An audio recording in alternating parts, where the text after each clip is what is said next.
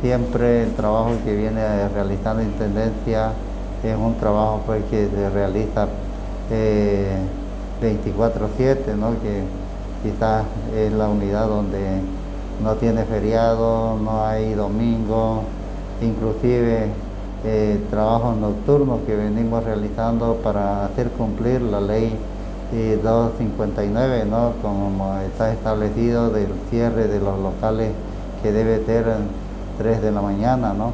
Es así que nosotros conformamos comisiones para realizar estos trabajos. Informarle que esto lo estamos haciendo eh, todos los días de la semana, en las noches. ¿no? Eh, tenemos ya un cronograma de trabajo con todo el personal que ya tenemos el personal designado para salir eh, los días de la semana. ¿no?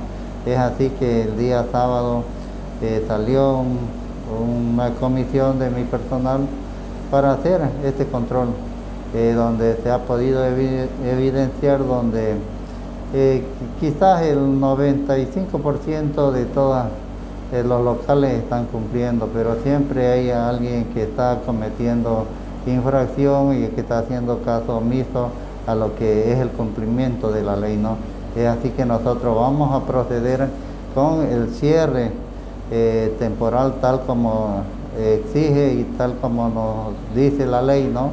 Eh, con el cierre temporal más la sanción económica que tienen que pagar los propietarios por infringir esta norma. ¿Este cierre temporal de cuántos días es? De, de acuerdo a la ley es de 10 días 10 días y una multa económica que también ellos tienen que eh, depositar en la eh, cuenta del gobierno municipal. Este, ¿Esta discoteca por primera vez? Mm. Sí, es por primera vez, estamos hablando de la discoteca Ibiza, eh, también estamos viendo el tema de su licencia de funcionamiento, también es otro motivo ¿no? para el cierre, porque no está al día con su licencia de funcionamiento, no cuenta con la licencia de funcionamiento. A pesar de eso, no, estamos por el tema de eso, el, cierre temporal es por el incumplimiento al horario establecido. ¿no? Intendente, el tema de menores de edad, ¿se viene controlando esto? ¿Se va a trabajar en esto?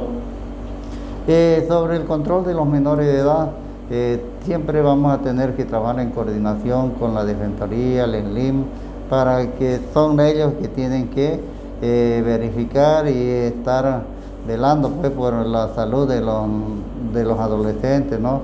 Es así que vamos a conformar comisiones para eh, tener determinado día, hacer este control, ¿no? siempre informarle y pedirle a los propietarios de estos locales no permitamos que ingresen menores de edad porque ahí se le va a caer pues las sanciones que son y ellos conocen que son altas las sanciones no y a ninguno de ellos le va a convenir eh, por tener a un menor ser sancionado con el tema del cierre y la sanción económica.